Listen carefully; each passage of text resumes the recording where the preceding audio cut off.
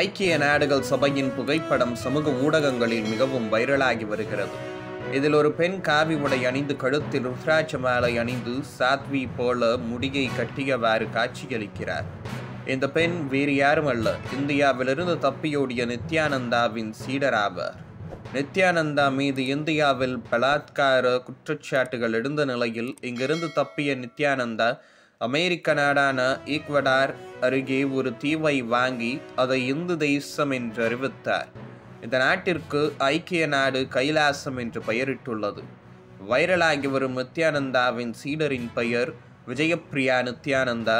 ஐக்கிய நாடுகள் சபைக்கான கைலாசத்தின் நிரந்தர பிரதிநிதி விஜயப்பிரியா என்று முன்பு கூறப்பட்டது.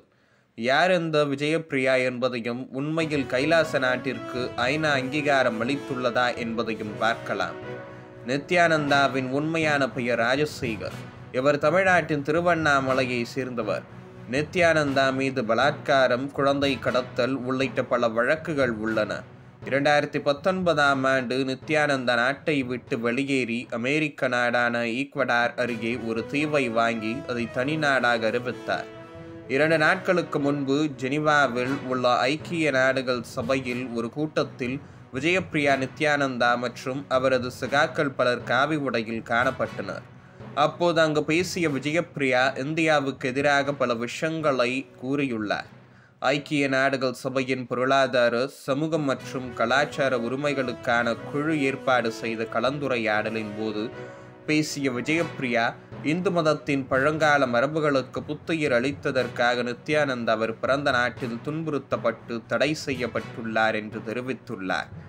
சேலை மற்றும் தலைப்பாகை அணிந்து நகைகளுடன் காணப்பட்ட விஜயப்பிரியா நித்யானந்தா ஐக்கிய நாடுகள் சபையின் கூட்டத்தில் தன்னை அமெரிக்காவுக்கான கைலாசத்தின் நிரந்தர தூதர் என்று அறிமுகப்படுத்தினார். ஆனால் விஜயப்பிரியா ஒரு தன்னார்வ தொண்டு நிறுவனம் சார்பாக பங்கேற்றதாக பின்னர் ஐக்கிய நாடுகள் சபை தெளிவுபடுத்தியுள்ளது. கூட்டத்தில் விவாதிக்கப்படும் தலைப்புகளுக்கு பிரதிநிதியின் பேச்சு சிறிதும் பொருத்தமற்றது என்று ஐநா அதிகாரி ஒருவர் கூறியுள்ளார். ஐநாவிற்கான இணையதளத்தில் கைலாசத்தை பற்றி எவ்வித குறிப்பும் இல்லை. விஜயப்பிரியாவின் கருத்து சர்ச்சையை ஏற்படுத்திய போது ஐநாவும் வெளியிட்ட அறிக்கையில் கைலாசத்தை கற்பனை நாடு என்றே குறிப்பிட்டுள்ளது.